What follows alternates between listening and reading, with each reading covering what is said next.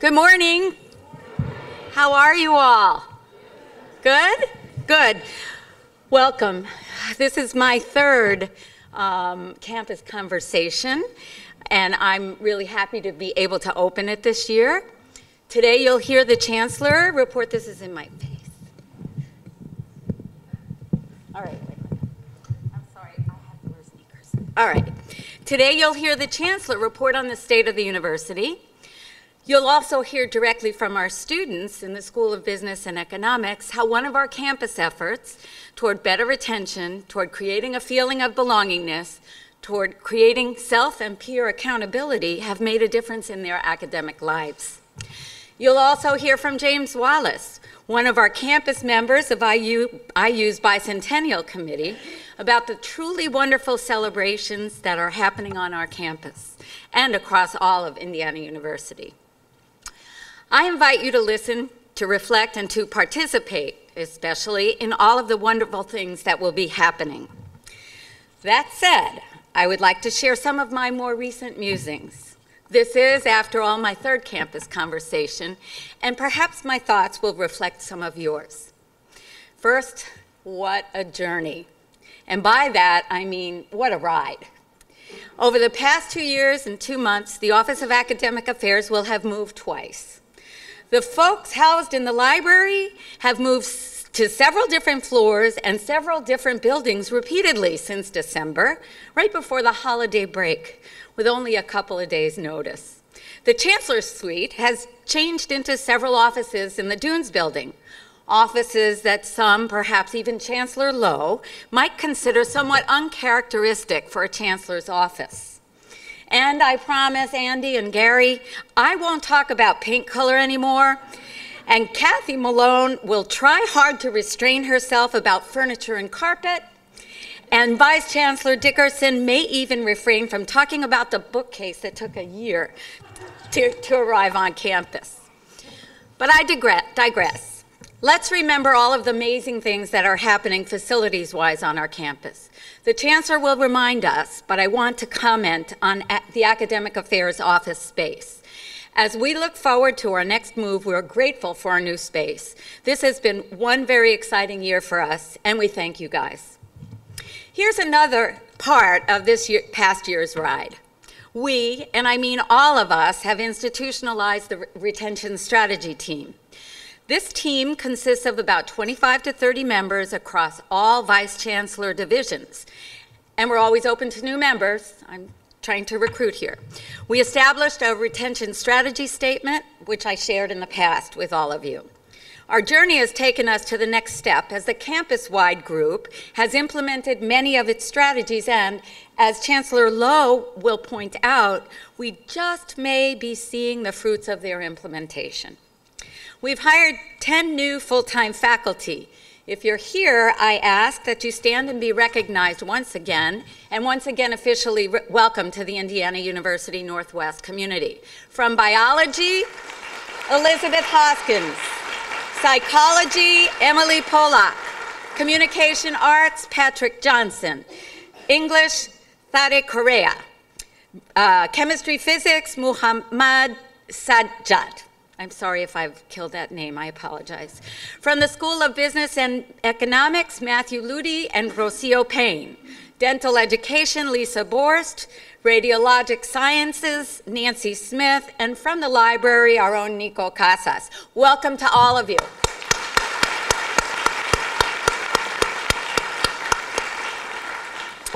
Here's another highlight of our ride. Two years ago, Indiana University surveyed all of our professional and biweekly staff using the Gallup as a survey provider. The staff in the Division of Academic Affairs requested a meeting or a series of meetings during which they would be encouraged to speak about how to make them feel more valued by the university. We had the first meeting in spring of 2019. The feedback collected from this meeting was reported to the university leadership at the Indiana University Northwest Council. The council determined that this kind of opportunity to provide feedback should be available to all staff from all divisions. So now a team of staff is working as we speak on creating spaces and opportunities for this to happen. This team is also working on how to operationalize some of the suggestions that have come out of these meetings. Look for more to come. The bottom line on this one is that all of our employees are valued, and we are seeking ways to make sure we all know it. One of the new initiatives that happened over the past ac academic year will be spurring our activities for the 1920 academic year.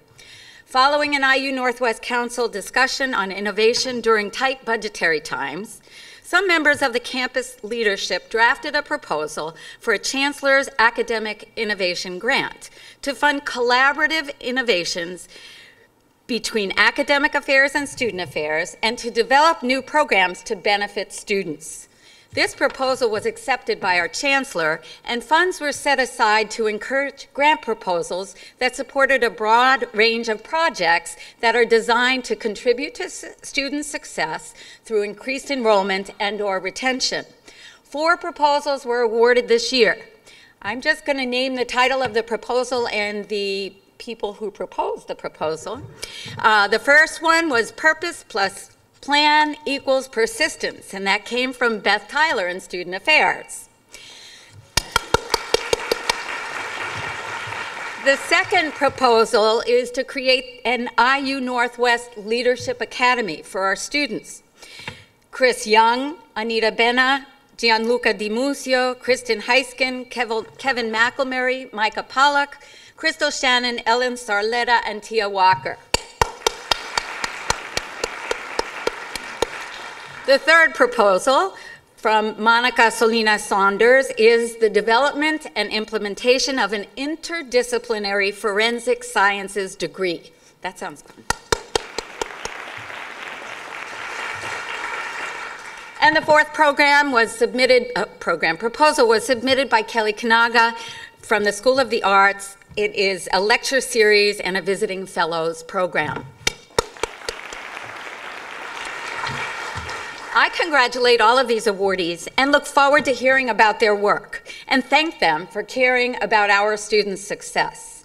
When you see them, please ask them about their projects. I was going to read all the proposals, and I thought you might get bored. One of our priorities over the past several years has been to pass on to the forefront of online education. To date, we are second only to IU East of the regional campuses with regard to online course offerings. From 2015 to 2019, IU Northwest has increased its fully online course section offerings by 130%. We went from 629 fully online to, in 2019, 1,444 online sections. So that percent represents a big number of, of, sections as well. We've also increased the number of sections that include an online component. We, we've increased by 136%, 683 in 2015 and 1,609 in 2019. The, these numbers are compelling. They also reflect the work of the faculty as they train to use an online pedagogical uh, platform and the work of our staff who work with our students from admissions to enrollment to advising and with faculty as they learn to perfect their instruction using an online platform. This is one of our futures. You all have adopted this. I am grateful, and our students, present and future, are grateful. Additionally, a faculty group has designed a series of best practices in online instruction. Not destruction, I meant instruction. These best practices are based on the standards outlined in Quality Matters. This will be presented to the faculty this fall 2019 semester. I thank this group for their good work on this part of our ride. One of the faculty roles at IU is participation in research.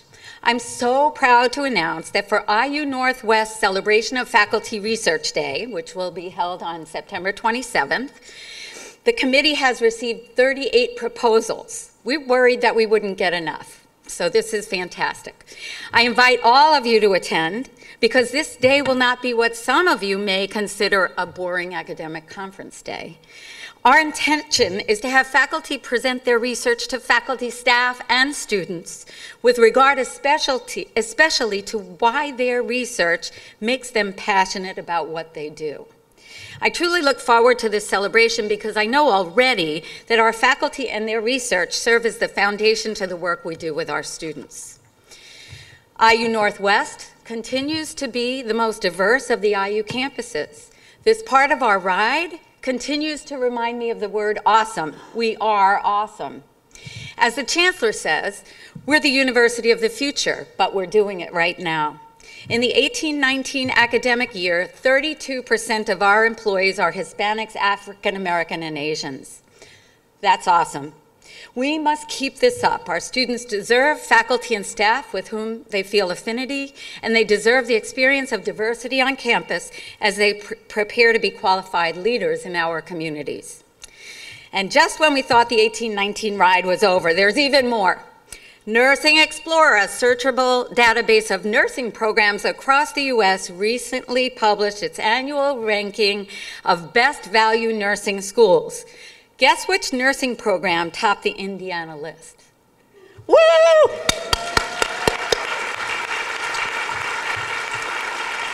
Congratulations on this recognition. And to top that, the Accreditation Commission for Education in Nursing granted initial accreditation for the Master of Science in Nursing Family Nursing Practitioner Program. Congratulations.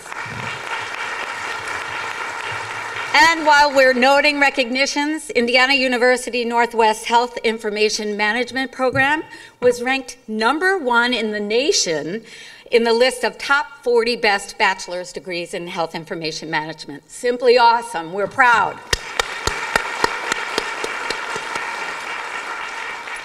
Some additional, I'm not going to go on forever, I promise.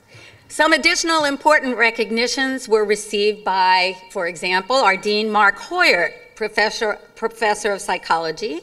He received the 2019 PA Mac Award for his distinguished service to teaching from the Indiana University Faculty Academy on Excellence in Teaching, FACET.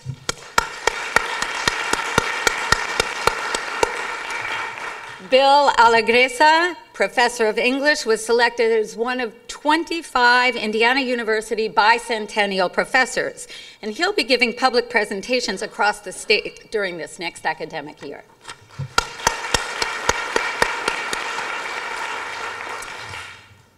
This one I'm going to blow, but don't tell her. Anna Madvikiu uh, Anya, I'm sorry, our dear Anya, professor of philosophy, was named a Fulbright Distinguished Chair of Public International Law and will spend the 2019-20 academic year at the Raoul Wallenberg Institute of Human Rights and Humanitarian Law in Lund, Sweden.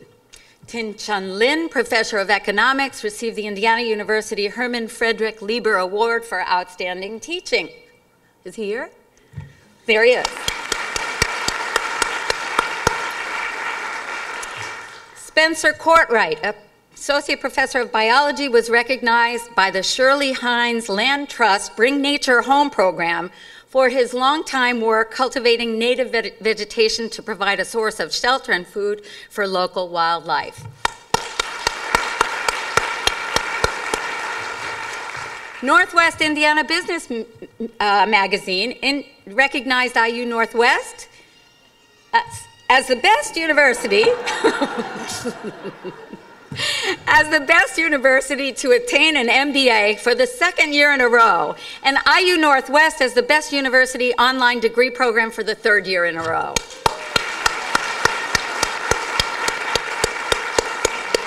As I promised, I won't go on with the list of successes which have occurred over last year's ride. I'm sure that all of you who have experienced successes over last year will agree that these things don't happen in a vacuum.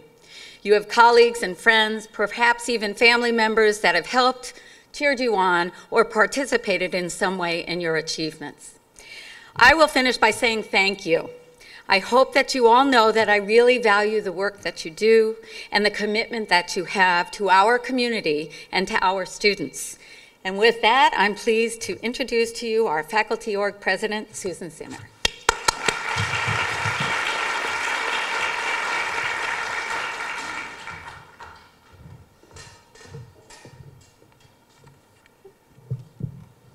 Good morning, and welcome to the 2019 Campus Conversation. I'd like to welcome you back to campus as we begin the 2019-2020 academic year. Uh, as Vicki mentioned, I'm Susan Zinner, the Faculty Org President. Well, one of the best things about teaching at a university is that we get to start anew twice a year, and other professions are not nearly as lucky. We have a clearly defined beginning and ending for much of our work. In the administrative ethics class I teach, I use films, both recent and not so recent, to uh, illustrate different ethical principles. And I was thinking about starting fresh every semester, and the film City Slickers came to mind. In the film, if you haven't seen it, Billy Crystal tells his friend, who is facing both divorce and financial challenges, Remember when we were kids and we'd be playing ball and the ball would get stuck in a tree and we'd yell, do over. Your life is a do over, he tells his friend. You get a clean slate. Well, all of our lives may not be a do over, but this one part of our work lives is. Think about it. August 26th is still a few days away. Your Canvas grade books are totally blank. Nobody has failed any assignments yet. And this could be the semester where you keep caught up on grading and committee assignments. And if it's not, the next do over semester is just around the corner. And for those of you working hard to prepare for this fall, remember the words of education scholar E.C. McKenzie, who said, some students drink at the fountain of knowledge, others just gargle. So here's, here's hoping all of you have students who drink deeply. So once again, welcome, and I'd like to turn things over now to Student Government Association President Laila Nawab. Thank you.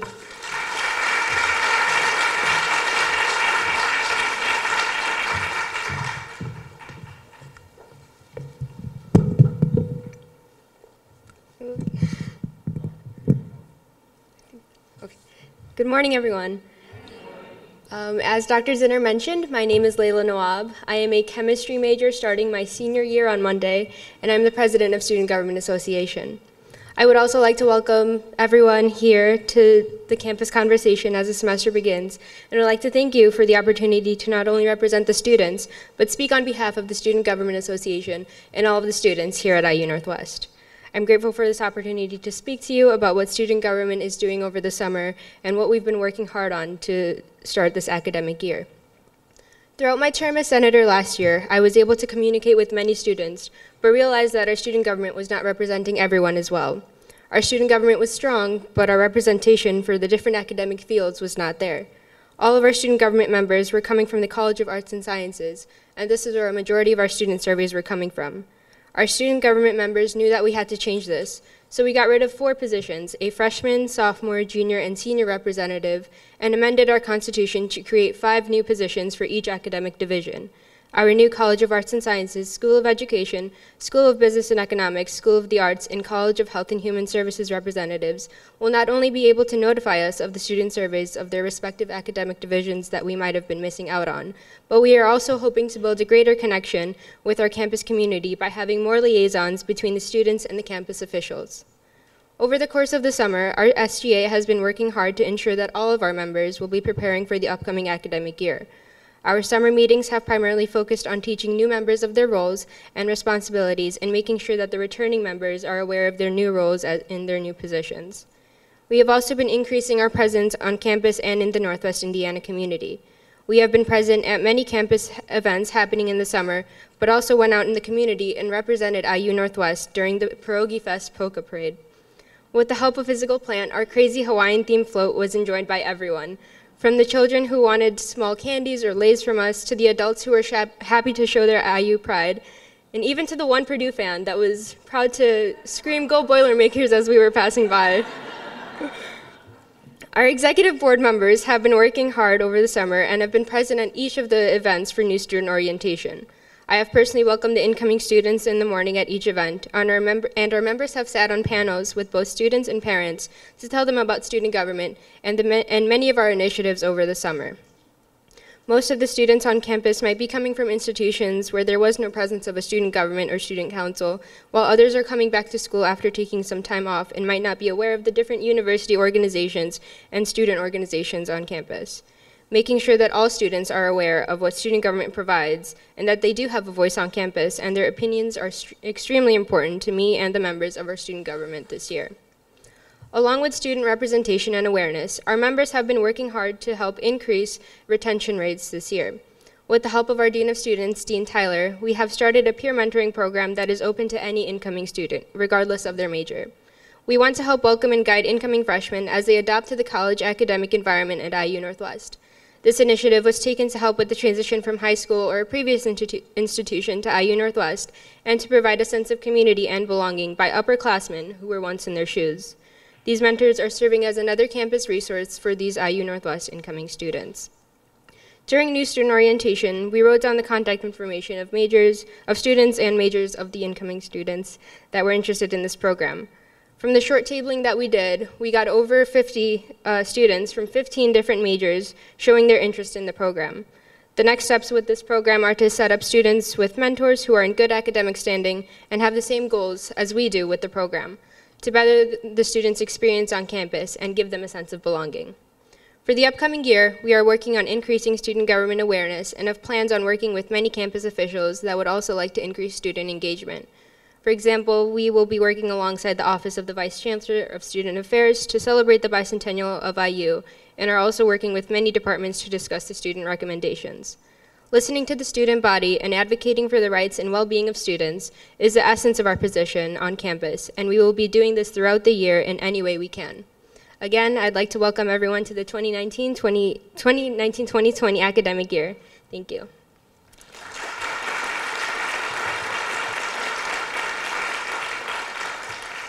Now I'd like to welcome Chancellor Lowe to the podium to give his Chancellor address.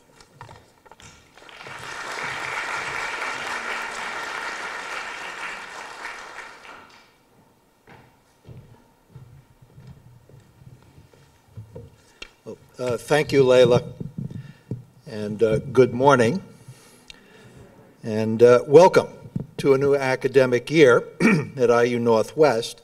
Uh, this is Indiana University's bicentennial year. Our official anniversary is the 20th of January, 2020, and 2019-20 also marks 60 years that IU Northwest has been on our Glen Park site. There are some important differences as the academic year begins, but first, there are a number of colleagues to thank for today's program and arrangements. Uh, Jerry Pat Gabbert, Vicky Roman Lagunas, uh, and Beth Tyler, uh, they all took the principal lead for planning today's event, uh, along with other colleagues uh, who had responsibility for the many moving parts that will make for an enjoyable day for us. and those include James Wallace, Marisa Villalobos, uh, Emily Bannis, Becca Hendricks, Erica Rose, Ed Marilla, uh, Terry Ann Defensor, Aaron Pigors, Rob Seals, Tim O'Donnell, Kathy Arfkin, Kathy Arfkin, Brian Thomas Chops, Kathy Hall, Helen Harmon, Kathy Malone, Candy Bushnell, Karen Peterson, Mike Beasy, Katie McQuillan, and our facilities and operations colleagues. Please join me in thanking them. Uh, the 2018-19 academic year and a busy summer went by very quickly, but we should not overlook some important things that have been accomplished since we met here last year in August of 2018. Uh, a major project was a submission of our AQIP systems portfolio and its unqualified acceptance and approval by the Higher Learning Commission. As we enter a new accreditation pathway, thanks to uh, John Novak, Cynthia Odell, and Vicky Roman Lagunas uh, for their leadership uh, of the collection, organization, and editing of the large amount of data that supports our continual uh, and continuing regional accreditation status, as well as the other colleagues who served on working groups and helped to compile the information. Our portfolio documented our campus commitment to continuing improvement, which is also evidenced in other accomplishments during the last year. We had the opportunity to demonstrate our strategic commitment to community-based engagement in the application that we submitted for the Carnegie classification recognition. We do not yet know the results, but thank you to Ellen Szarleta and the Center for Urban and Regional Excellence, uh, uh, as well as all the colleagues who embrace community-based engagement and have, had, and have made it integral to the academic experience of so many of our students each year. Uh, we've spent time since the end of spring semester, substantially under construction, you may have noticed, uh, which ultimately will result in uh, very tangible campus improvements. Uh, the Anderson Library renovation with new systems, lighting, and ceilings will be complete in mid-September, and the change is already noticeable. Full services are available as work wraps up, so please do not hesitate to send students to our library, where Latrice Booker and her colleagues look forward to working with them. The Library Plaza has also been redesigned and should become a very attractive gathering place for our campus community. The parking lot next to Hawthorne has been repaved, which resulted in, in some additional disability spaces. Academic Affairs, as you heard, is moving into new offices in Hawthorne. And the space formerly known as Lindenwood Hall looks much better as grass. Expenditures on facilities and infrastructure improvements during 2019, not all of which are as visible as these major projects, represent a total investment in our campus of $11.5 million. Uh, many thanks to Andy Kaposias and all of his facilities and operations colleagues for managing an extensive and complex set of major projects in a constrained time frame during this summer. And I should recognize the contractors as well who do good work and were all firms based in the city of Gary. We look forward to them being finally finished uh, in the next several weeks. And since there is still work going on in the library and the plaza area, please be helpful to students who may find that part of the campus a bit confusing and help them on their way. Something else to mention about facilities is that improvements in systems, including the new ones in the library and new, more efficient light fixtures, uh, have already resulted in not only better interior and exterior lighting, but a savings of several hundred thousand dollars, which helps to relieve pressure on our operating, uh, campus operating budget and makes it easier to devote resources to the other priorities that underwrite our students' success. 2019-20 also marks the start of expanded athletics programming at a more challenging level as we enter the Chicagoland Collegiate Athletic Conference. An integral, and it's an integral part of our academic and enrollment strategy. Our teams were very successful last year, and they are well placed to continue to make us proud and represent us well in the new conference. But there's something else that is very different and a definite improvement compared, compared to the last four or five fall semesters. Our enrollment is set to increase compared to fall semester 2018. All of the essential components of our enrollment and revenue picture have improved. Recruitment has brought in larger numbers of new first year and transfer students, and we have retained more of our students. Yes.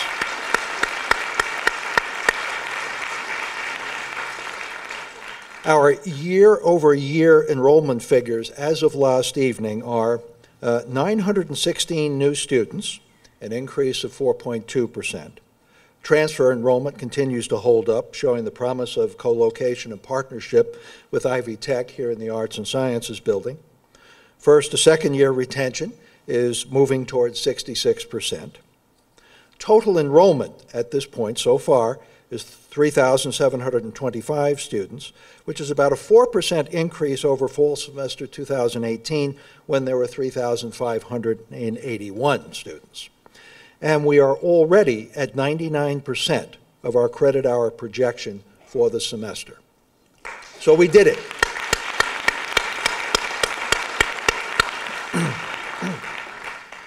this is the result for which we have been working for several years. And if we maintain the focus on students' success and degree completion, we can begin to look beyond stabilization to modest growth. This is a major achievement for us in a very adverse environment and reflects the diligent, imaginative work of colleagues across the campus.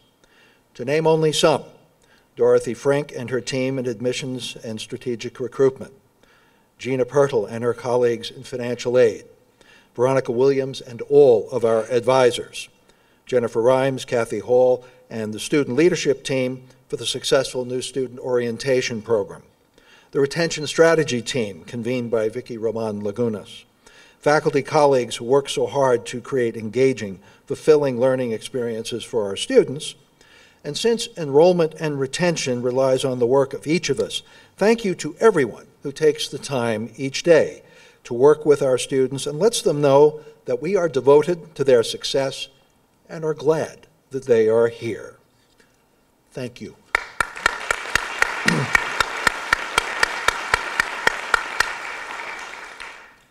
it's good work.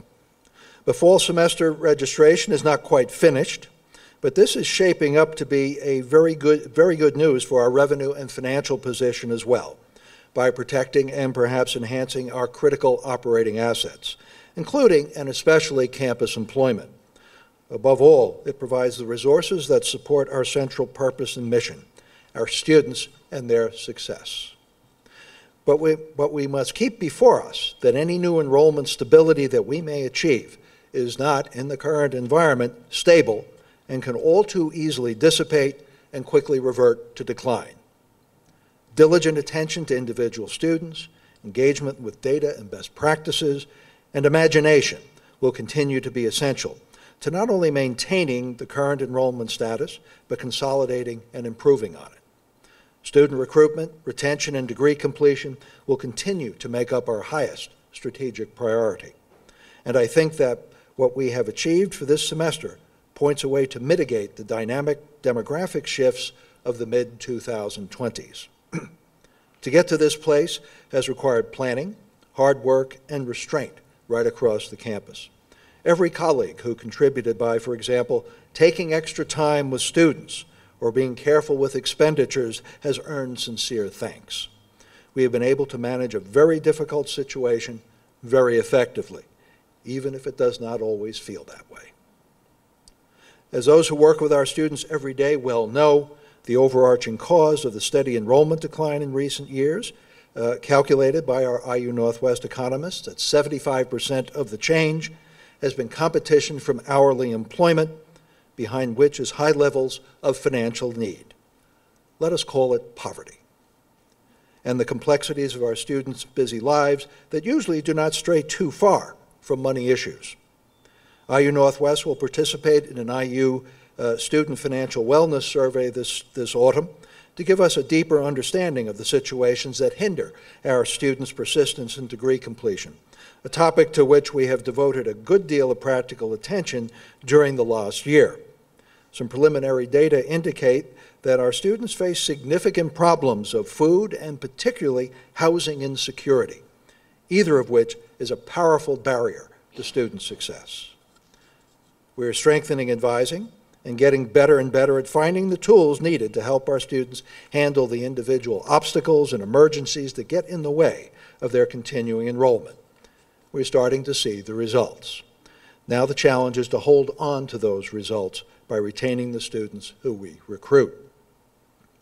We have established, as Vicki mentioned, uh, a Student Success Innovation Fund, which was an IU Northwest Council initiative, and we're supporting those four excellent projects this year.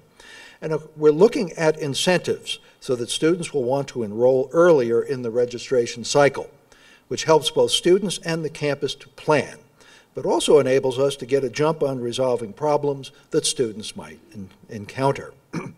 Special thanks to all of the colleagues who have referred students to those who can help them get beyond the immediate problems or alerted offices to students who can use assistance. And thank you to Veronica Williams and Beth Tyler, who are in the lead for helping students to tackle their urgent situations as well as the marketing and communications team for messaging to students and colleagues about referrals of students who encounter difficulties. This more intentional, systematic approach also originated in the in IU Northwest Council discussions. Each of these action steps contributes to levels of student success, enrollments, and revenues that enable us to support the services that help our students to complete their degrees.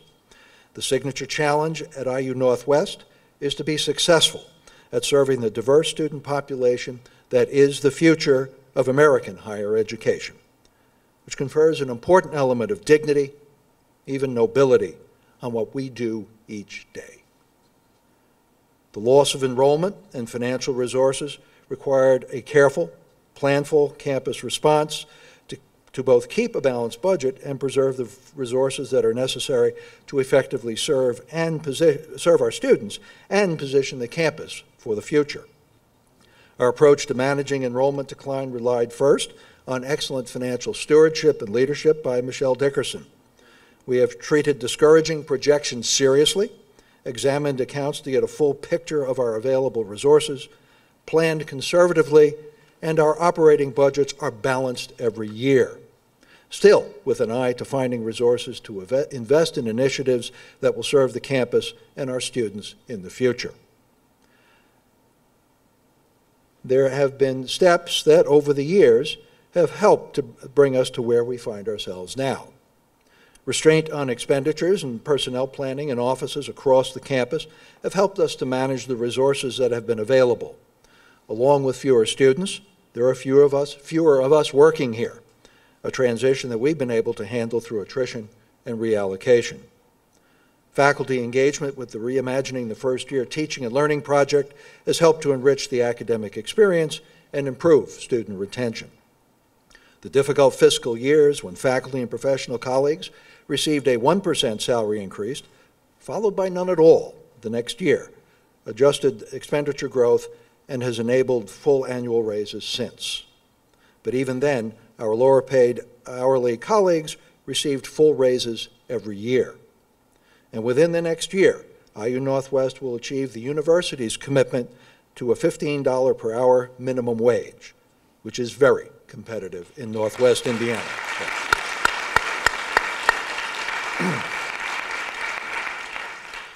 Atypical for higher education in the public higher education in the last decade, IU has authorized salary increases, modest to be sure, but IU has authorized salary increases each year since 2010. And we also monitor salary equity and compression and continue to repair problems that have been identified among faculty colleagues. Through all of this, something that stands out is that we have put campus finances and employment on a very solid footing. A job at IU Northwest is a good job. President McRobbie recently sent each of us a letter that details our full compensation, salary plus benefits, which compares very well by region standards, particularly for full-time jobs with regular hours. Our continuing efforts to improve salaries and compensation for hardworking colleagues are, of course, supported by good enrollments. Good jobs are worth protecting in their own right, but good jobs and dedicated, skilled colleagues in all of the roles that support academic success best serve the academic experience and the individual futures of our students. Today's program will shortly shift the focus to the accomplishments of our students, which, of course, is the payoff for all of the wor our work in their behalf. Our new students are once again receiving a copy, a free copy of this year's One Book, One Campus, One Community selection, Hanif Abdurraqib's They Can't Kill Us Till They Kill Us, and the author will visit campus on Thursday, 17 October, so please plan to read the book, join the conversation, and meet the author. There will also be a briefing uh, by James on the many activities that will take place on campus and around the university to commemorate IU's bicentennial. An important bicentennial activity is the comprehensive campaign that at the university level has already exceeded $3 billion. Here at IU Northwest, with the better part of a year of campaigning to go, we have already achieved our campus goal of $8 million.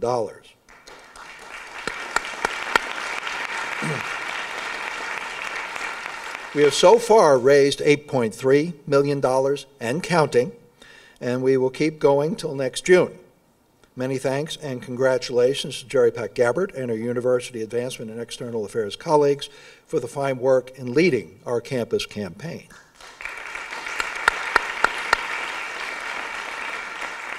A critical reason that we reached our campaign goal is the generosity of colleagues who work at IU uh, IU Northwest or have retired after spending their careers here. Uh, as of 31 December 2018, 350 employees and retirees contributed $3.6 million of the 8.3 that we have raised. $3.6 million for the bicentennial campaign from among us here on campus. Uh, scholarships have been our top priority, and each campus colleague who has made a bicentennial campaign gift has my sincere thanks, and that of Indiana University. we could not have done it without you. The beneficiaries are IU Northwest students into the future. So thank you once again, and there are still plenty of opportunities to contribute to the bicentennial campaign. Now, among the ways we thank colleagues for their work are the Friday afternoon receptions that we started last academic year. The receptions appear to have been well received, and again this year, the campus executive leadership will sponsor receptions for our colleagues in the autumn and the spring after faculty organization meetings. The first reception will take place on Friday, 18 October 2019, and we look forward to seeing you there. So thank you once again to all for the hard work that enables us to look ahead in a different and a more encouraging way. Your efforts show what is possible when enrollment and student success are everyone's job. The work, of course, continues up till next weekend's census to wrap up fall semester enrollment. This very promising threshold is a beginning that can strengthen IU Northwest in behalf of our students. Let us make it a new beginning that sets our course for a challenging but ultimately successful and rewarding future. Welcome back, and thank you.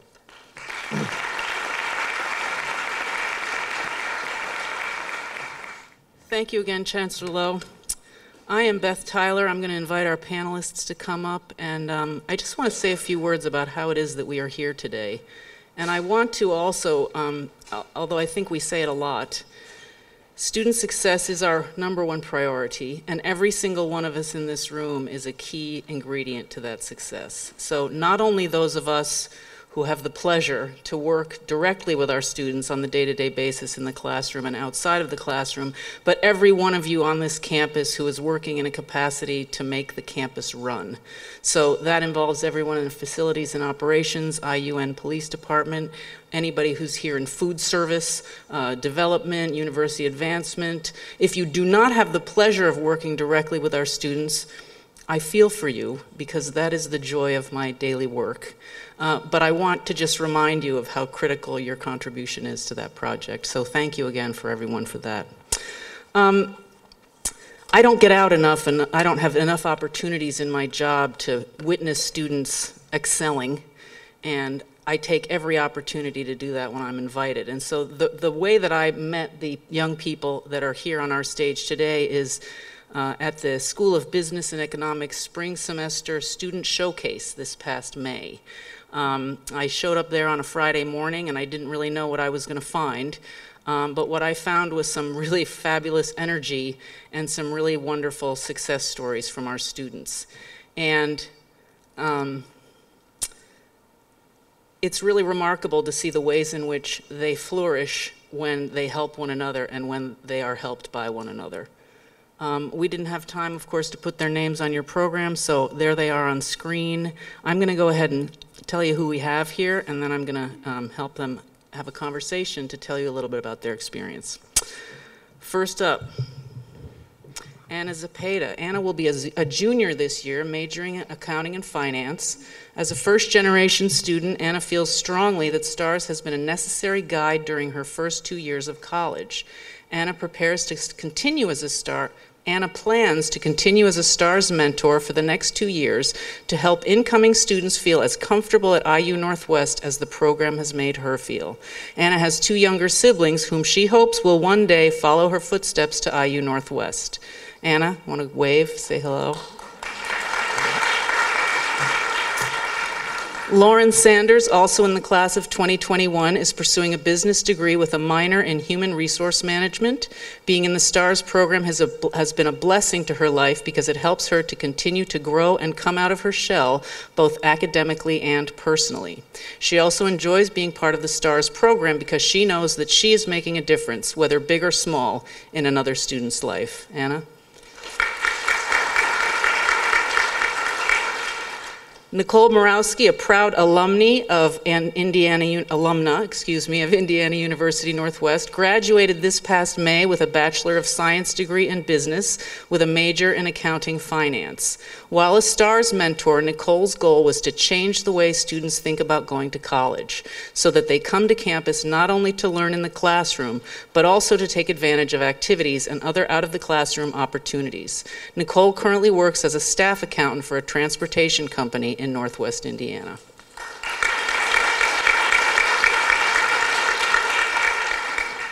Zeke Williams, class of 2022, is an accounting and finance major, a recent change from business, with a minor in marketing. Zeke is excited to learn about these new areas and more in his next three years at IU Northwest. Zeke had a rocky start in his first year, but, the help of, but with the help of his STARS friends, he totally flipped on his academics, his words, and he is proud to announce that he is now excelling. Say hello to Zeke.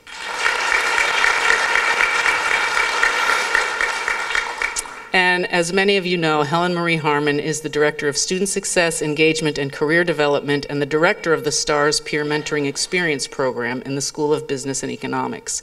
This past summer, Helen presented at the European First Year Conference in Cork, Ireland, accompanied by IU Northwest students Samantha Chua and Daniel Rushke, Danielle Rushke, excuse me, and she has recently been accepted to present a session at the International Learning Conference in Valencia, Spain next July 2020. Let's congratulate, say hello, Helen. All right, we have mics that we're sharing. I don't know if you're turned on. If you tap them, you can tell. I'm going to change my location here. So we're really just going to have an informal conversation, excuse me. I think there will be time for questions toward the end, so if you have them, uh, put a pin in that, as they say, and I apologize for those of you who can't see me although I'm not the important, the most important thing here today. Um, Helen, I'm going to start with Helen because I want to ask Helen to tell us a little bit about the STARS, STARS, Students Together Achieving and Reaching Success. Can you tell us a little bit about the program, how it got started, how it works, something like that? Sure. The STARS program started where most of my, actually all of my thoughts and projects happen in my head and doodled in a journal.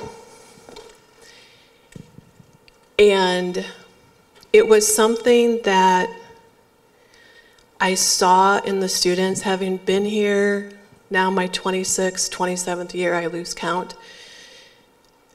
I've seen a lot of students, I've seen a lot of issues, and I've seen a lot of growth. And what was most impactful as I put the pieces together was the fact that our students depend more on each other than they depend on anyone else. How they depend on each other was not only an eye opener for me, but it was also part of my idea generator. So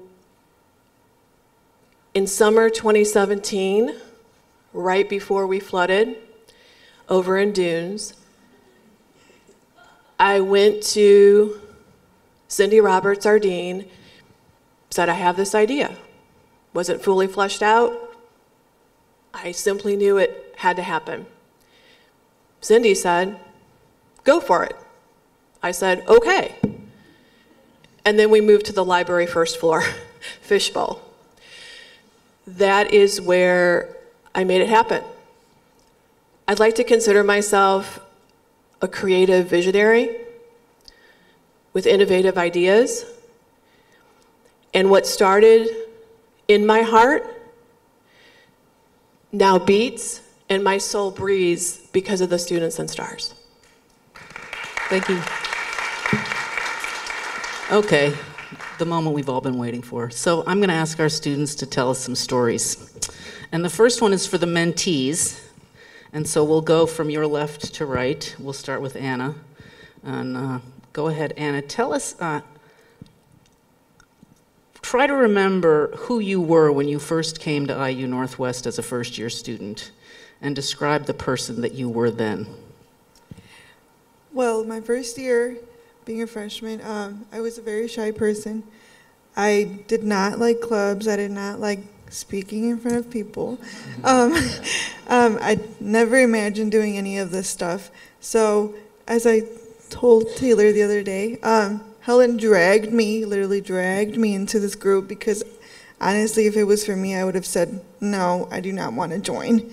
Um, but now that I, I've been in STARS for two years, it has been a life changing, and I will never, ever regret it. I have opened up, I have seen things in a different perspective, I have met a lot of people. Um, it is really something that I will forever be thankful for. Great. Lauren, who were you when you first got here? Um, I was kind of like Anna, definitely shy coming into college, and I contacted Helen um, the first week of school, still shy, but I need, I know I needed to introduce myself to my professors. And from then on, I will never forget going up to her and finally taking that first step. Okay, we're jumping over to Zeke. Uh, like she said, it was a really rocky start. I mean, any college student, I mean, I would say like any freshman's nervous at first. I mean, you could say you're excited, but I was nervous. I was nervous as heck. But Helen jumped to me at orientation. I was still shaky about joining stars, just like Anna. But like after that first couple weeks, I was going home from classes like that. Like I wasn't even staying on campus, and I felt like, why am I in college if I'm not doing anything to be involved? And like that's the first thing Helen told me was like, if you you are what you make out of college, which is the truest statement that I've ever heard in my life. Because if you don't put anything into it, you're not going to get anything out of it. Which I mean, you many people know by now. You got jobs and everything. but, but um, anyways, like the first couple weeks of school, I was struggling. I was not going to class sometimes, and that wasn't like me. Like I don't like to brag, but I was an honor student in my small high school in Lake Station. So like I was always involved at school. Like I was in sports or I was doing something in other clubs. But like when I got to college, I felt like a nobody, which I mean I still do at some points. But anytime, anytime now, like I need help with something, Helen's there to that. And like text message through summer, like I was busy all summer and she was there. But my story about like how I'm here is really because when I first started off, like I said, my grades are dropping and like an easy class like psychology, I fell all the way to a D minus. And like in October, I texted Helen, and she was, I was like, I was freaking out because I was like, should I drop this class or what should I do? I was a mess. Like, you think my hair is this crazy? It was crazier then. but after that, like, Helen got me another mentor, like my great mentor Sam out there, and she knows he's out there. She couldn't help me with everything, but Helen found me somebody else where, like in a couple weeks, I had a big paper due at the end of the psychology semester, and she flipped me like that. Like I went from a D minus all the way to an A by the end of December. And, but I mean, I couldn't ask for a better program like this because I mean, you don't get this on every campus. Yeah, they have mentoring programs and all that, but you don't have a close knit family. I mean, it sounds cliche, but you don't have a close knit family like this because Sam I can call as my sister. I can call these as my sisters too now because I mean I come to them for anything. But I mean it's just amazing how much you can do if you work together. Like I, it sounds cliche, but I'm I'm serious because I mean I would not be anywhere where I am without them. And yeah. Fantastic. Okay, since we skipped over Nicole, since she did not have the benefit of a, of a ment, she was not a mentee. Can you tell us about how you got involved in the STARS program? So I was approached by Helen because I was always in the school business. Um, I love being at school, so I spend a lot of time here. She was like, "You should be a mentor for uh, my STARS group." So I started here, and um, it was my first year. I was a senior, and I came in with open arms, and I had him. I got my first mentee, Paul, and he came from um, lower income town and didn't have really good high school backgrounds. Didn't really know. Um, too much kind of started at the lower end of the college spectrum, the classes where you don't get any credits that don't really count for anything. Um, started out as real rocky for Paul. Um, D's, F's, kind of like what, what Zeke was saying. And um, with my willingness to help him and his eager to learn, he excelled and he ended up on the chancellor's list um, this past school year. So.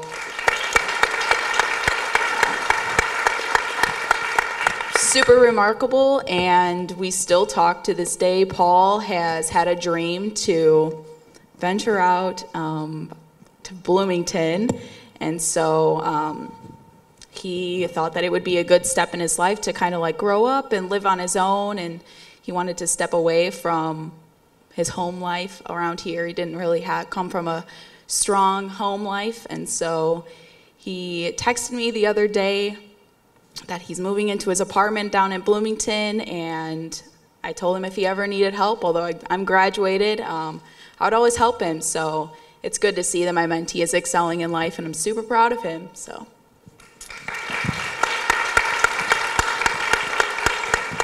Thank you, Nicole. I feel a responsibility to acknowledge that it is not our goal that students transfer to Bloomington.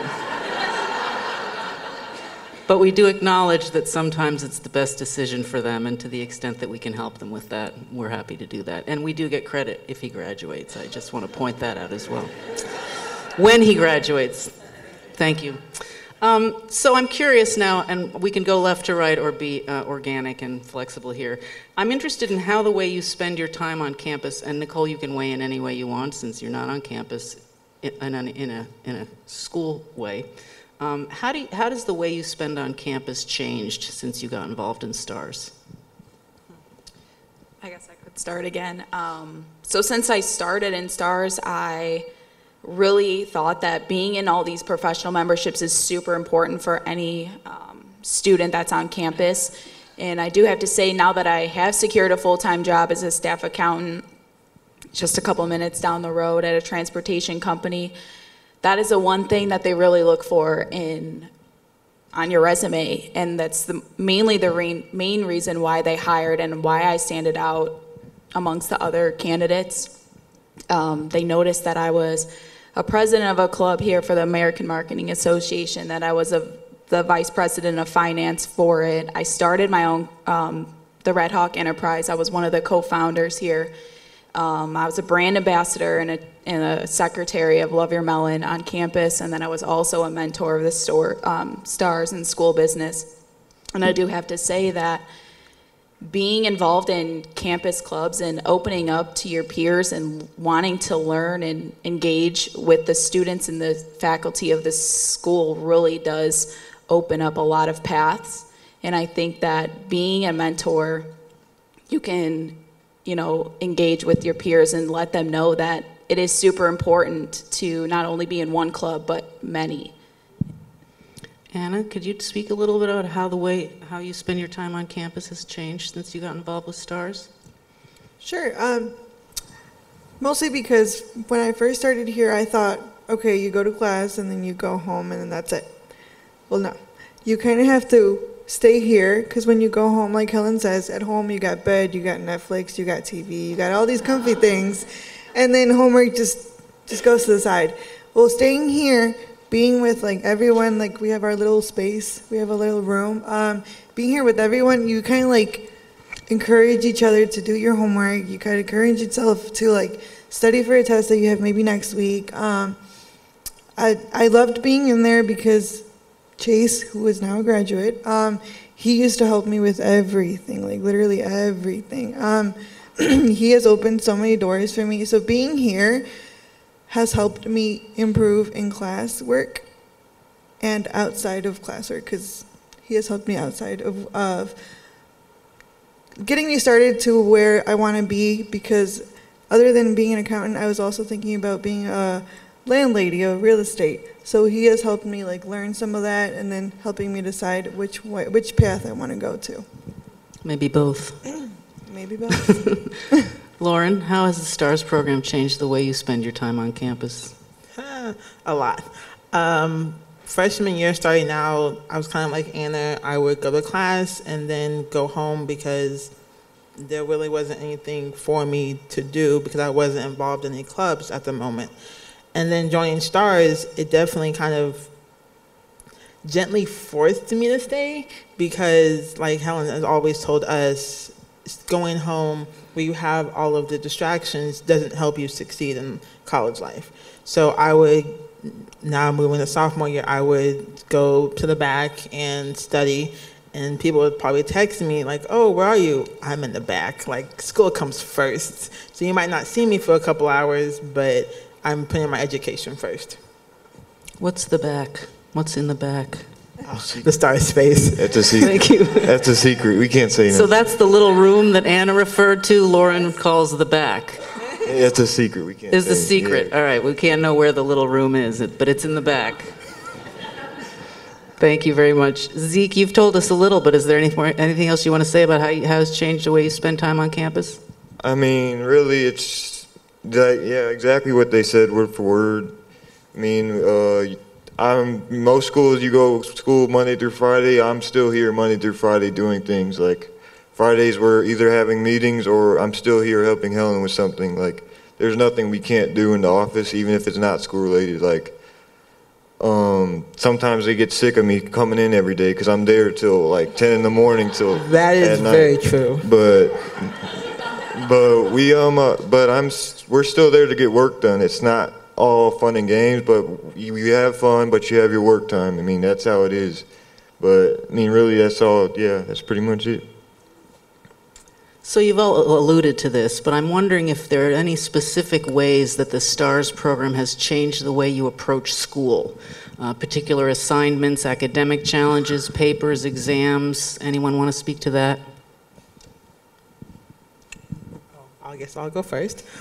Um, coming into college, I thought college was going to be hard. Like um, high school teachers have stressed to us that professors aren't there to help you, and they don't really. But you guys are. Don't worry. um, but that coming to college and going to school of business was a changing because I realized that professors do care about you and they do make sure that you're doing your work and on top of things. And and stars having the peer to peer um, perspective and the help coming from them who have had the teachers that I have really helps me because papers I'm good, but I know I can improve. So having Nicole there who is good at English can is helpful to me. Great. Others, specific academic tricks you learned through STARS or strategies? You can go ahead. Where y'all go?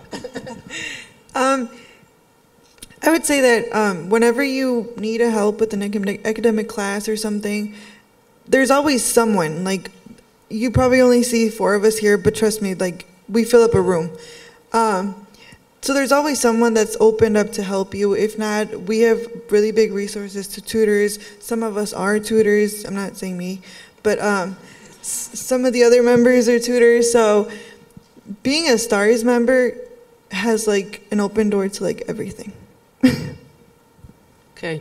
Zeke, I know you have something to say. Um, just being very punctual is very important with school. Obviously, a lot of kids sleep in, skip class, but with me, I mean, I speak first firsthand. I'm always in class on time, or at least I try to be five, ten minutes late if possible. But I mean, it's it's better than not. It's better.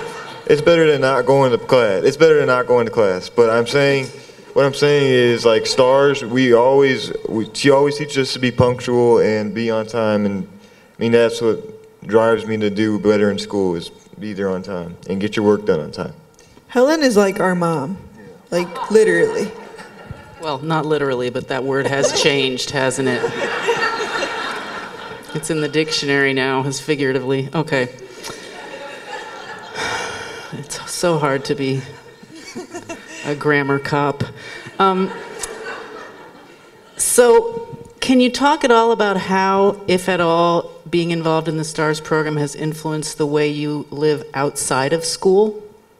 Whether that's in personal life, thinking about how you want to spend your non school time? Has there been any adjustments to that because of your involvement here? You may not have thought of it this before. Well, I think um, being in stars has really opened me to like learn more about another person and like understand where they're coming from because not everyone comes from the same background. And so um, I think that with opening people or you know taking people with open arms is pretty important, especially because we're all different. And um, as you take that out into your like work life, you understand that when you get into like the work field that not everyone's the same and that you should understand where everyone's coming from. So I think learning that in stars and not only in stars but throughout my college career and me wanting to come back to school is like something that's helped me so Okay, so that's interesting because that didn't come up initially, but I'm curious if any of you have found that um, either with stars or just in general, I know Dr. Uh, Vicky referred to how diverse we are, that we are, have the blessing at this campus of encountering a lot of people who are different from us. Can you talk at all about how that has affected your approach to your life and your school and thinking about the world? Um, well, like I said, when I started in STARS, I well, I graduated from Munster High School in 2015, and so when I took on Paul as a mentee and started learning more about Paul and him not knowing like the basic functions of PEMDAS and me learning that in elementary school and knowing me knowing that for such a long time and him coming to college and not knowing what those small things are. You really have to sit down and learn how to teach someone those things, even though you are at a college level. I think that starting small and then working your way up to learning more things is pertinent to the program. Other students, any experience with that, being around people different from you with a different background? Lauren's nodding. She's not grabbing at the mic, though. Um, coming from Crown Point High School, it was diverse, and then coming to college and even in the Stars, it was diverse in a different way. Coming to Stars, you are in a group where you don't know their full background, um, you don't know their perspectives, and going in the meetings and even with our mentee to mentor meetings, it's kind of a breath of fresh air because you get that new perspective and you get to know a different background that you may not have known really was even there. So I think coming to stars definitely opened my mind and to new perspectives and not to be so closed-minded, whether um, professionally and even personally. Great, thank you. Zeke? Oh, Anna. Oh, no. Oh, no, no, no, no. Zeke, nothing there? Okay. So now I'm curious about how being in STARS has affected the way your relationships with faculty, the way you approach fa- the way the way you approach faculty. I think that being more involved in a school, like we're in the school you know school of business and i think that with them seeing us all the time they now know us as like oh you're always in the office like you're always here and then when Tinchin ran out was like, hey, you need to be quiet back here because it's too loud for him. And um, I think judges, they know us more of like, oh, you're, you're in stars. Like we see you all the time. And I think that when you're around more, you learn more about the professors and they're, they're, they're more open to taking you into their office at any time. Others?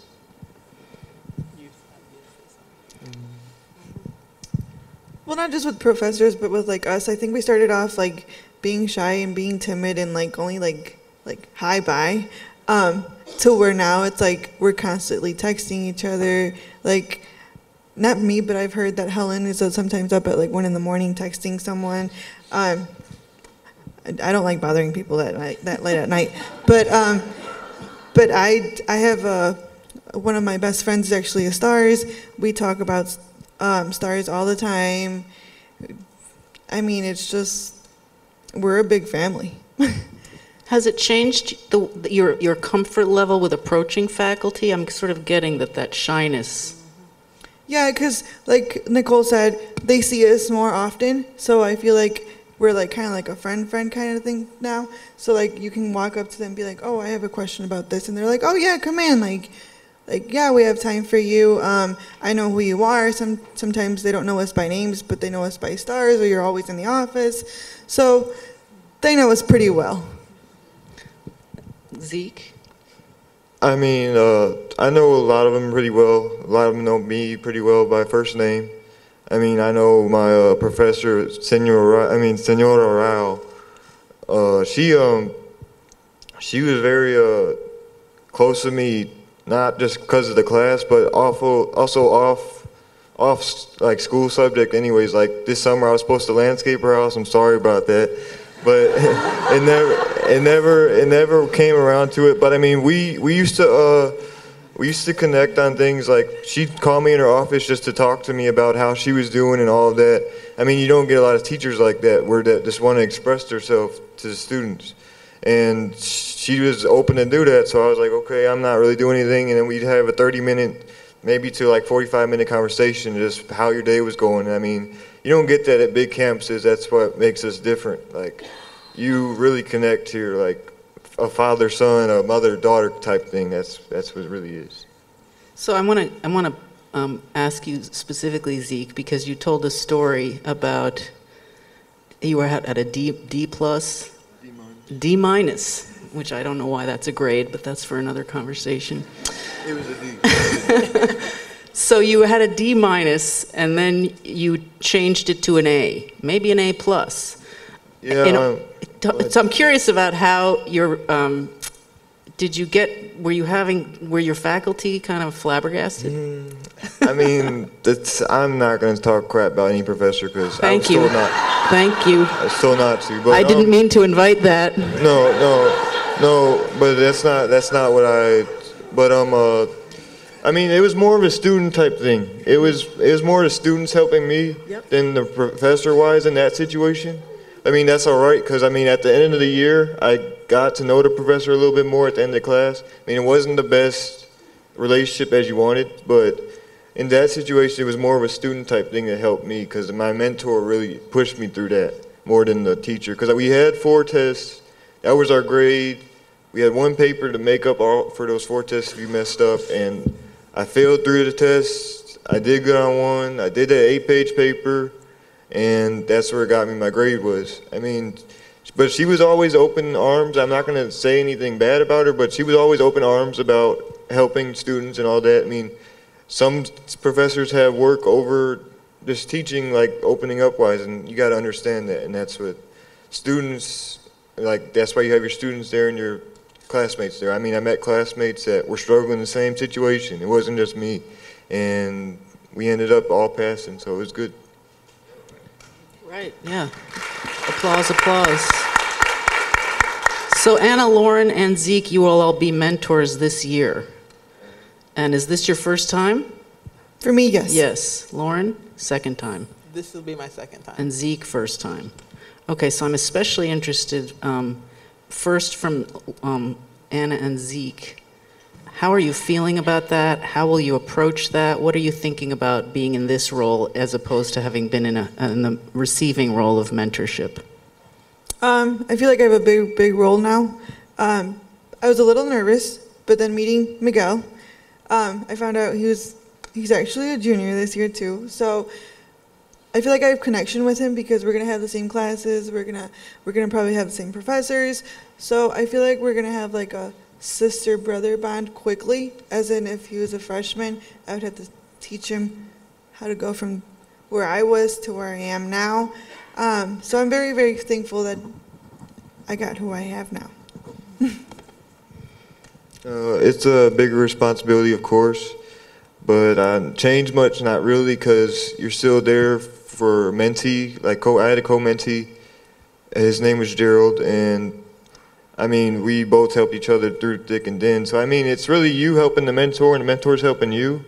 So I mean, even if you do change the mentor, you're still doing that role. It's just that big responsibility. It's just that name, mentor. that you have to keep on task with that person now. But I mean, you're still helping them, they're still helping you. So I mean, there's not really much of a difference to me. So it sounds like you're talking about a co-mentee that you had last year where you mentored each other. I mean, we had Sam, she was our mentor, but we were co-mentees. Like we, Sam Oh, I had see. two You were mentees. both Yeah, mentors of her. Yeah, Sam had two mentees. And that caused you to create a relation of helping one another. Mm-hmm. Yeah, and we were, I mean, we were always loud in the back, but we, we'd always, uh, we were always connected. Like us three were always good. I mean, Helen always saw us together, so. And Lauren, can you talk about what your first year as a mentor was like and what you learned from that? My first year was okay. My first semester was scary and rocky because I've never been put in that mentor role. I was obviously a mentee to Chase actually my freshman year, and to be a mentor, like I said, was rocky and nerve wracking. Um, my mentee knows that. She actually graduated with me, graduated from Crown Point, and she knows a little bit about me. She knows I get nervous easily.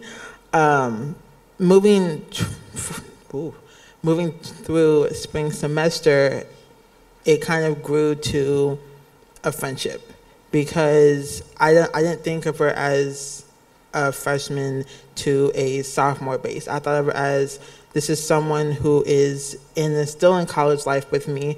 How can I help her achieve her goals and her dreams in the college year and in the four years that she will be here? Um, now going into my second year of mentoring, I'm gonna still gonna try to keep that mentality. I don't want to think of them as a mentee, but more as how can I help them achieve their goals and their desires in the college. Thank you. Nicole, how did being a mentor, is it, I- I- do you find yourself doing any sort of mentoring in your job? I mean, I guess you've only been there for a few months, but has that influenced that at all? No, and I think that my first year as a mentor also helped me as a person because, like Lauren said, when you start out as your first year, you never really had that opportunity before. And I think that um, being a mentor to Paul was life changing for him as well because he didn't really, like I said, didn't really have like a strong home body and um, needed all the help that he could get. And so I was more of there um, to lead him, wa- like guide him through college and let him know that you know like things are okay. Like you just have to take it a day at a time and move move forward. But um, being a mentor is like like Zeke said, it's a huge shoe to fill, but you got to be there like like your mom. So it's it's a good time. So Thank you. Okay. So this one is about the future, to the extent that you can think about that, maybe more than I do, I hope. Um, how has being involved in this program influenced the way you think about your future?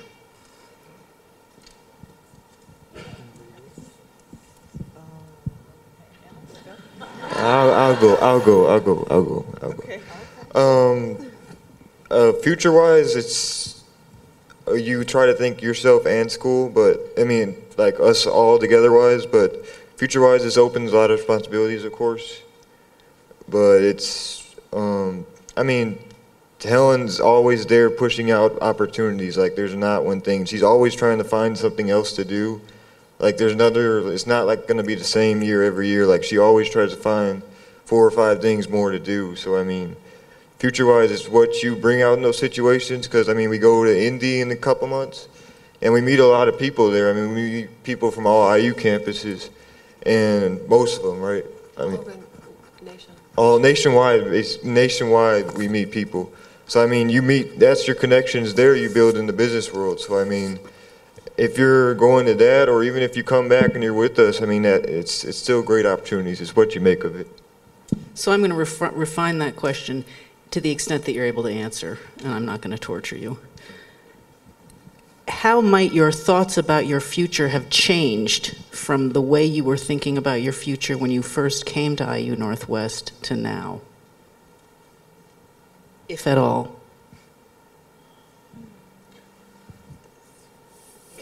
Oh, okay, great.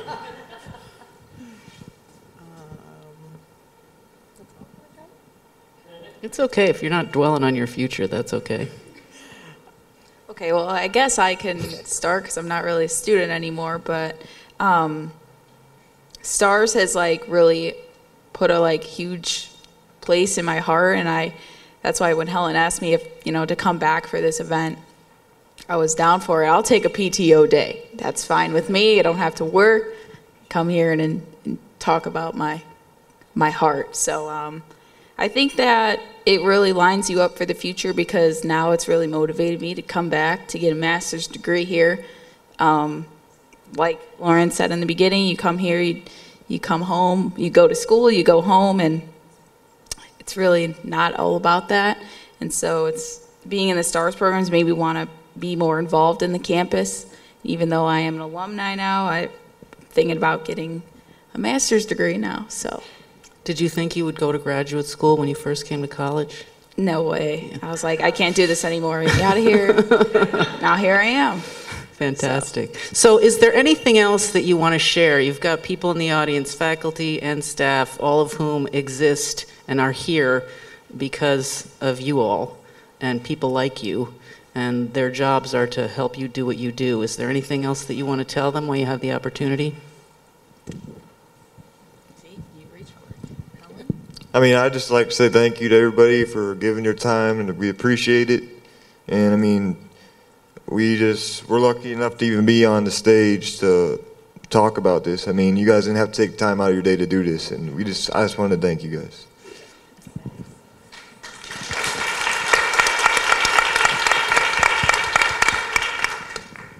Anyone else? Lauren? We'll let Helen go last. Oh, wow, Zeke, you kind of stole mine. Um, I do want to say thank you, especially to the professors that I have had and will in the future have. Thank you for taking the time to help our, the students and even myself grow academically, professionally, and even give us life lessons throughout your class. So, thank you.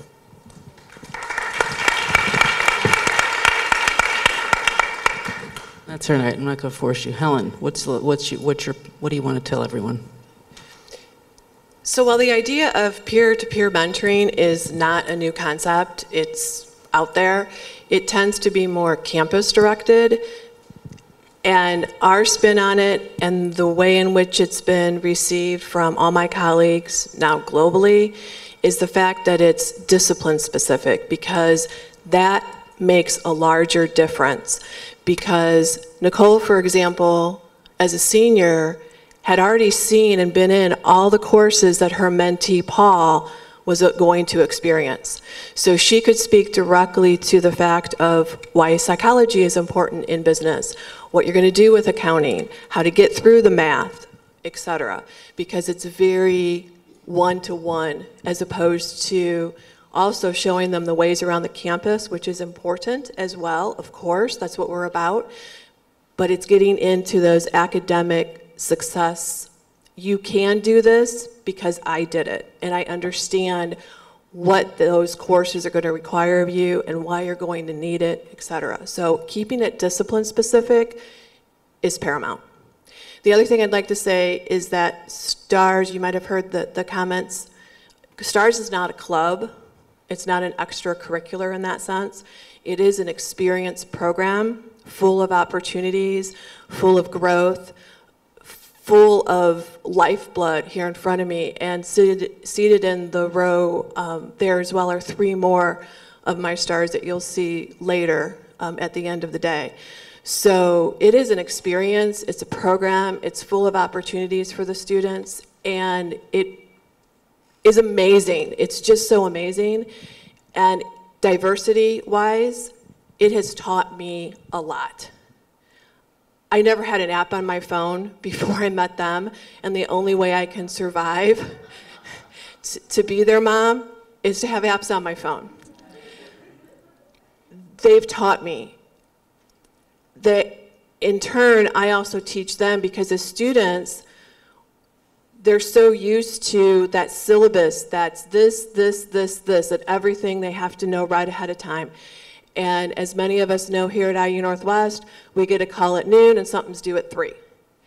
So that's been kind of my take with them too, is to tell them that the real world is going to require you to be adaptable, and you didn't have a syllabus ahead of time to tell you that. So, stars is my heart. Nicole, it looked like you wanted to respond. Is that my imagination? Okay. Well, I want to just, uh, do we have any questions from the audience? I think we have a few minutes we can squeeze out of this. Is there anything you want to know? Yes, Marianne.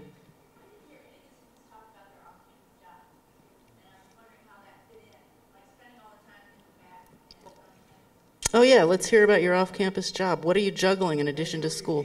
Oh, I'm sorry. Marianne said she didn't hear any of the students talk about their off-campus jobs, and she wonders how they manage that in the context of school.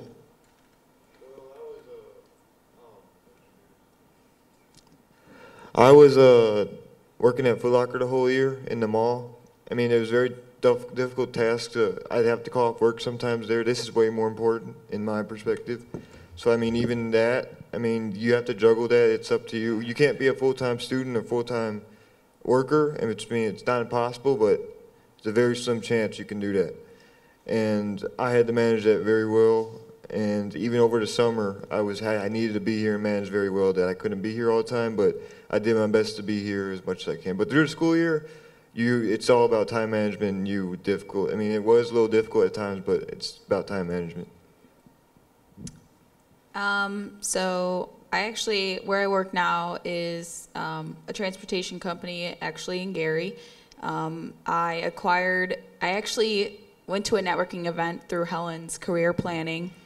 And it was a marketing event with all of the employers that come in to try to recruit for either part-time jobs, full-time jobs, internships.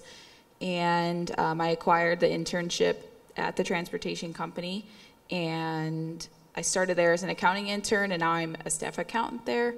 And I feel like if I didn't go to Helen's networking event, I would never be where I am today. And that's how that went. Lauren or Anna, are you working off campus while you're being a full-time student? Yes, can you, no, Not full not full-time, but part-time. I'm doing part-time, yes. And is that, how, has that been a challenge for you to manage? Um, no, because they're really flexible. So whenever I have to be here, they they really do understand. I currently work at um, a Mexican restaurant, El Jimador in Hobart. So if you guys are hungry, I'm about to go run over there after this. Um, go get you some margaritas before school starts. yeah, during the summer I did do full time.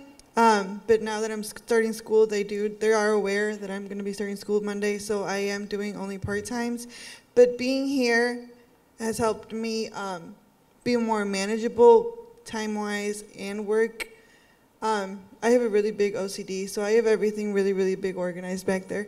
Um, Self-awareness.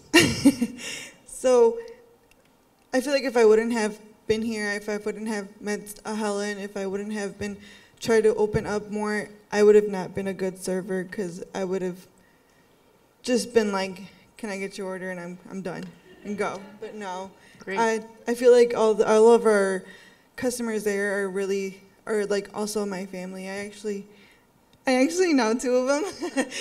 there are regulars. Um, um, yeah, most of them are pretty I regulars. think you owe them a discount now. um, yeah, and if it wasn't for for the for my work job, I would have not met a lot of Great. A lot of my regulars. Yeah. Lauren, are you juggling a job in school? Kind of. Um, I actually work with my mom at a consulting com- company. So she's probably pretty flexible. Yeah. so she knows school comes first, and then if I do need to kind of take a day for stars, it's more than fine. Got it. And Well, I- Lauren actually works in the School of Business and Economics office as a student intern with us, so we're, I'm very flexible with her hours there, too. Perfect. All right, so I'm going to have our students um, leave the stage, and we're going to switch this slide out, and I just wanted to let you know that as you're leaving after the program is over today, the students have set up their poster session table that they have used in some of these events, and they will be there to talk to you further. Can we cue up the Star Wars music now, again? I think this is an appropriate time. No, I'm just kidding. Thank you all very much, very much for being here. Good morning. For those of you who don't know me, my name is James Wallace, the Director of the Office of Diversity here on this campus, and I do not know how our actors do this with these lights. This is really uncomfortable. Um, but I am uh, also serving on the uh, Bicentennial Planning Committee for this campus, so it's fallen to me to share with you some information about some upcoming activities to celebrate 200 years of academic excellence at Indiana University. You know what, let me, let me do that. So what I'm gonna share with you today, um, review some of the activities that we've had so far to date, um, talk a little bit about some upcoming activities that are gonna be happening on our campus, uh, some university-wide opportunities to be involved, some bicentennial medal information to celebrate individuals who have made significant contributions to Indiana University, and talk about a, a few closing events that'll take place at IU Bloomington. So, so far since 2016, what has what has the Office of the IU Bicentennial done? Well, there have been a number of projects that have been supported, and we just found out yesterday that Dr. Solinas-Saunders was supported with a Bicentennial Project grant. Um, there's been course, course grants. There's been a number of conferences that have taken place around the university, three of which happened on our campus just last year. Um, over 1,200 oral history interviews have been conducted uh, by paid student interns and then there have also been a number of history blogs that have been created that are available on the IU history page. As far as this campus is concerned, there have been a number of activities that have taken place. Just last year, last September, the campus hosted the 10th anniversary of the South Shore Dance Alliance with a performance here in this theater. Uh, also, our colleagues from the School of Public and Environmental Affairs hosted the Indiana Blacks in Philanthropy conference. The following spring, campus and community partners came together to host the Bicentennial 2020 Education Conference, where we were able to explore opportunities to strengthen the pipeline of education here in Northwest Indiana. And the Center for Urban and Regional Excellence held the Bicentennial Community Engagement Celebration. Now, the Office of Bicentennial also put together some bicentennial minutes, and these are quick uh, videos that talk about unique portions of IU history. And the one we're getting ready to watch um, details the work of Steve McShane from the Calumet Regional Archives.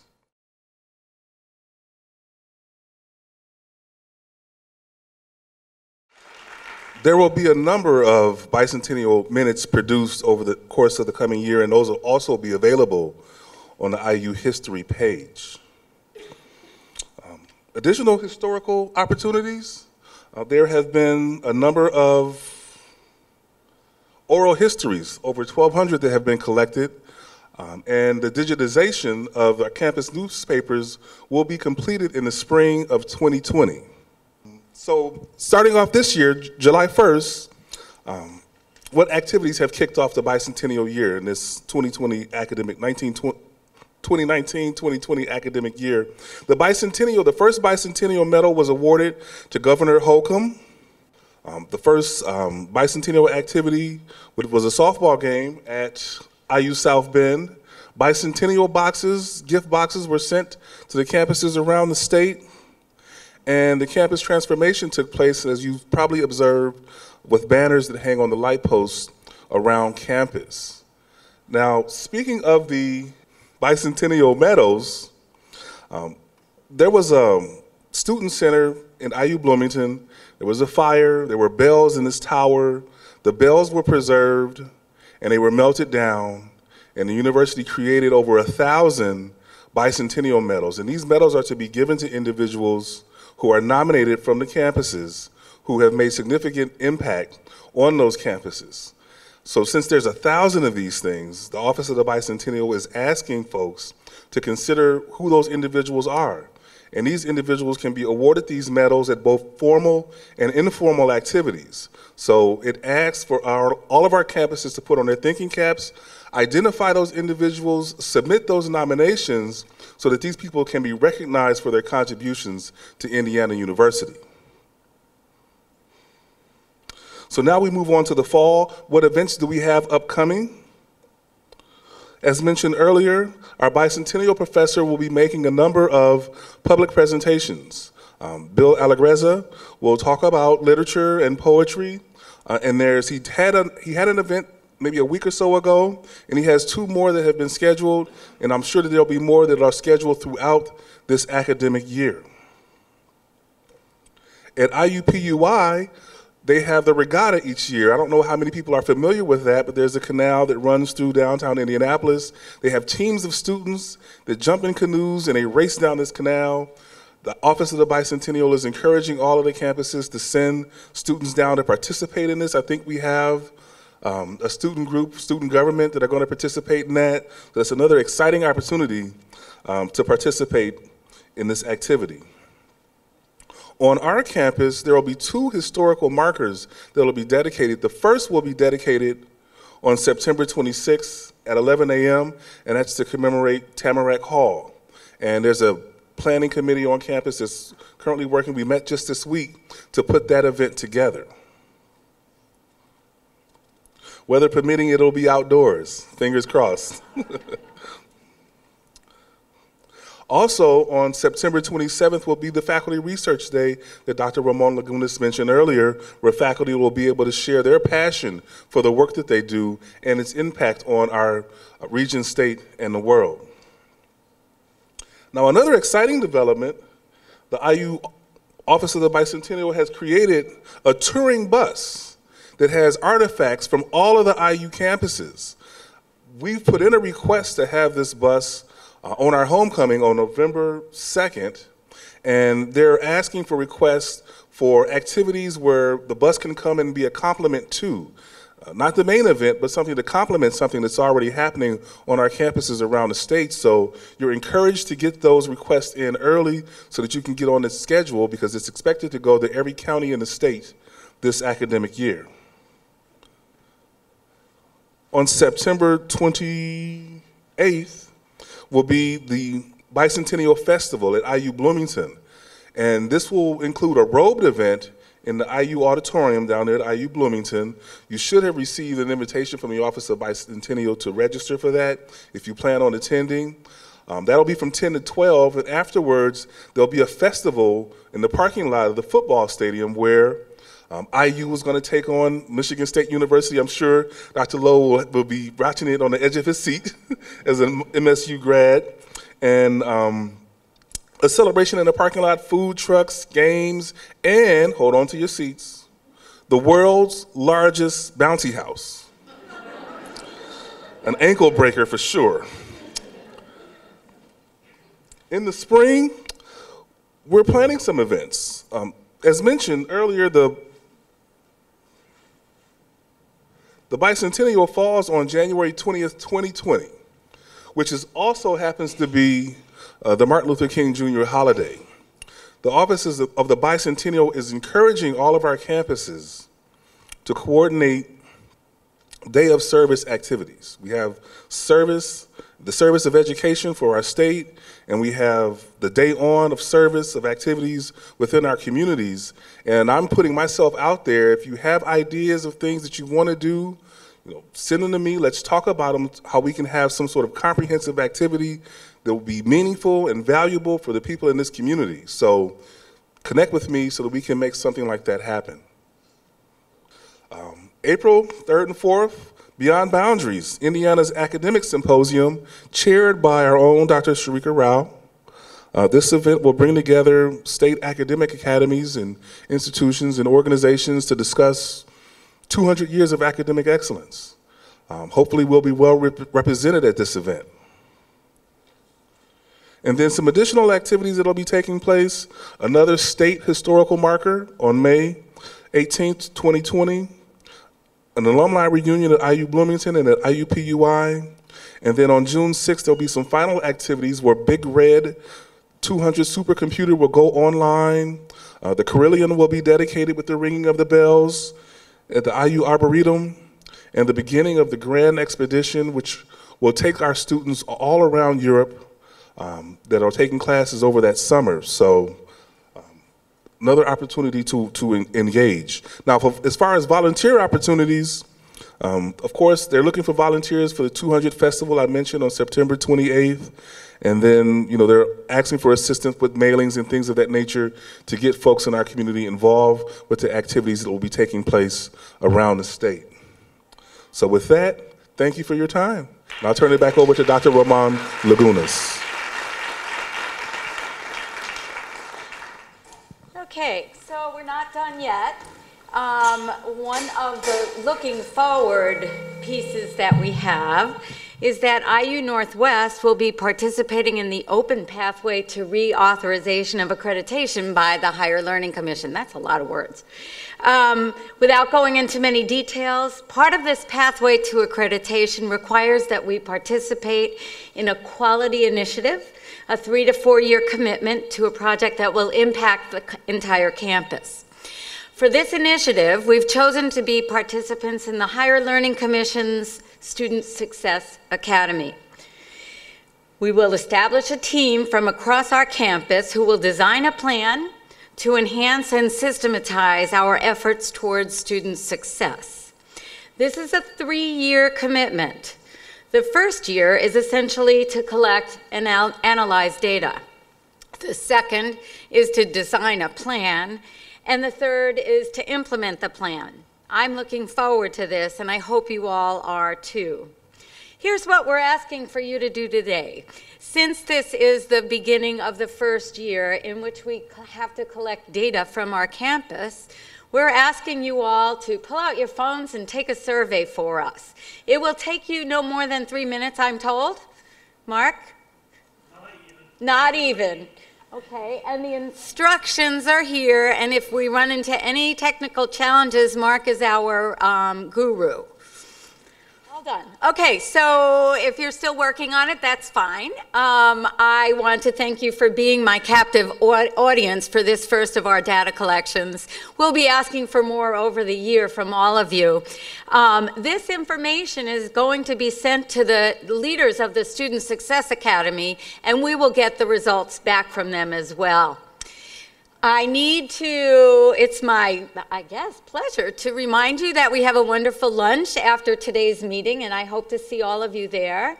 Also, want to remind you all that Monday is our student, new student induction ceremony, and I'm asking you all to please, if you're teaching classes that are at the 100 and 200 levels, around 1145, Send your students this way, but accompany them, please. We'd love to see all of you here, um, and we'd love to welcome our students um, to a new year and, and to our community. So we'll see you all at 1145 on, on Monday. And finally, I just want to tell you I'm grateful again and looking forward to the next year of our new journey and hope you have a wonderful day.